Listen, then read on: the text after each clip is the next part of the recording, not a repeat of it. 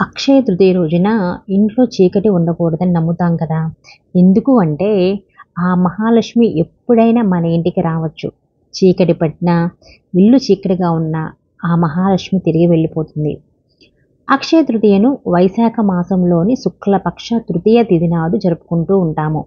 హిందూ మతంలో అక్షయ తృతీయ అద్భుత ముహూర్తాలు ఒకటిగా చెప్పబడింది.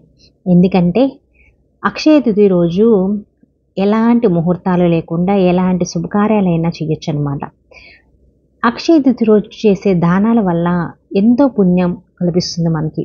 దీంతో పాటు ఈ రోజున బంగారం మరియు వెండితో పాటు మహాలక్ష్మికి సంబంధించిన కొన్ని ఇతర వస్తువులు కూడా కొనుగోలు చేయడం సుప్రదంగా పరిగణిస్తారు మన వాళ్ళు ఈ రోజున లక్ష్మీదేవితో పాటు గణేశుణ్ణి మరియు కుబేరుని కూడా పూజించడం వల్ల శుభ ఫలితాలు ఉంటాయి.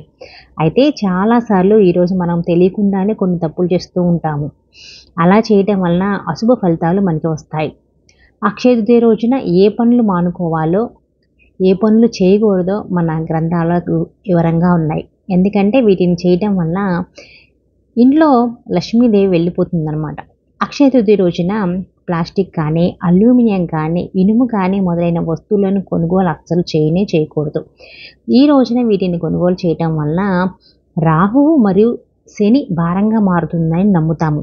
దీంతో పాటు దుఃఖం పేదరికం కూడా మనకి మన ఇంట్లోకి వస్తుందని చెప్తారు. అక్షయ తృతీయ రోజున లక్ష్మీదేవిని పూజిస్తారు. ఈ రోజున లక్ష్మీదేవి ఇంటికి తప్పకుండా వస్తుందని నమ్ముతాం కదా? అందుకే ఇంటిని పూజాగదిని శుభ్రంగా ఉంచుకోవాలి. లేకపోతే నెగిటివ్ ఎనర్జీ మన ఇంట్లో ఉంటుంది. అక్షయ తృతీయ రోజున డబ్బు అప్పుగా ఎవ్వరికీ ఇవ్వనే ఇవ్వకూడదు. ఎందుకు అంటే అలా చేయడం ద్వారా మీ ఇంటి లక్ష్మి ఆ వ్యక్తితో వెళ్ళిపోవచ్చు. ఈరోజు అలాగే అదే డబ్బుని మనము దానంగా ఇస్తే మనము ఎంతైతే దానం చేస్తామో దానికి వంద రెట్లు మన అకౌంట్లో జమ అవుతుందన్నమాట. అక్షయ తృతీయ రోజున మాంసాహారం మద్యం అసలు ముట్టనే ముట్టకూడదు. ఇలా చేయటం వల్ల ఆ మహాలక్ష్మికి కోపం వస్తుంది. అక్షయ తృతీయ రోజు వెల్లుల్లి ఉల్లి కూడా తీసుకోకూడదని చెప్తారు. సాత్వికమైన ఆహారం తినటం చాలా మంచిది ఆ రోజు. అక్షయ తృతీయ రోజున ఇంట్లో చీకటి ఉండకూడదని నమ్ముతాం కదా. ఎందుకంటే ఆ మహాలక్ష్మి ఎప్పుడైనా మీ ఇంటికి రావచ్చు. చీకటి పడితే ఆమె తిరిగి వెళ్ళిపోతుంది.